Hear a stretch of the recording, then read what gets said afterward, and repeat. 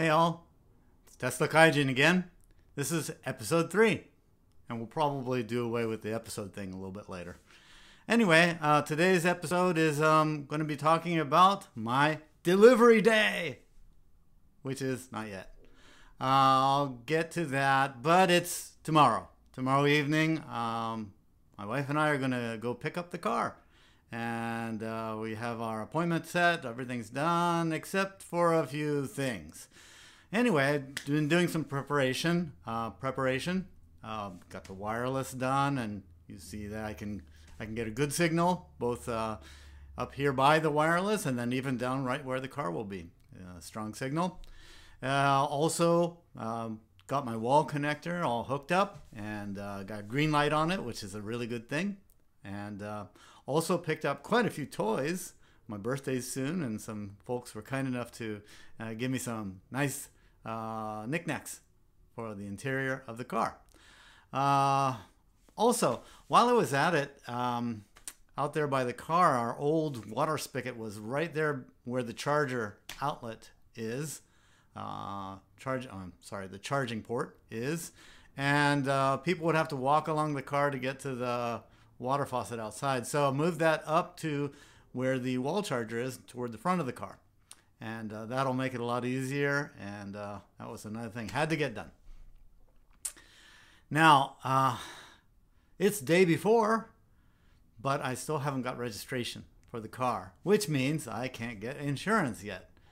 So I've been promised uh, registration will be uh, emailed to me in about an hour. So we will see how that all works out uh, down to the wire. But um, the online in, Insure My Tesla site says it should be no problem to at least get me uh, insurance uh, for when I'm on the road tomorrow.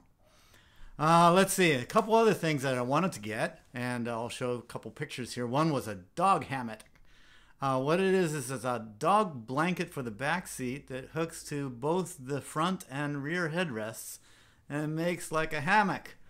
Um, well, my wife's little dog is always in the arms, but uh, the big dog is uh, going to have to be back in the back seat whenever we take her to the vet or take her somewhere. And so Tesla, um, I'm sorry, RPM Tesla has uh, created a dog hammock. So I'm going to be ordering that. Other thing is, is I need some lights. Um, I've looked and seen a lot of people say the lights are kind of dim. The LED lights, the the puddle lights under the door, the um, interior lights at the footwells, uh, the trunk and frunk lights. They're all kind of wimpy.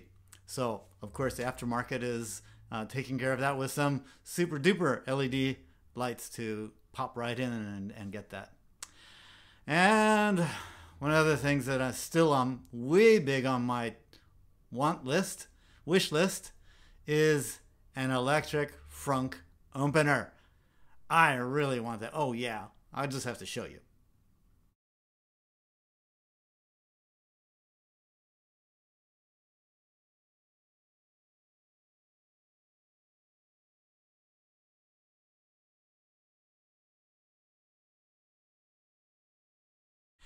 And that is an electric frunk opener. And I, I just got to get one of those. I don't know why, but anyway. Um, so I'm going to end it here for now. And uh, we'll be talking to you later.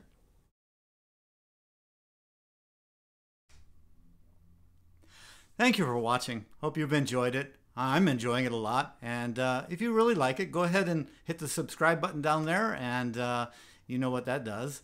And uh, when, not if, but when you buy a Tesla, please remember me and use my referral code, and we'll both get some free miles out of that.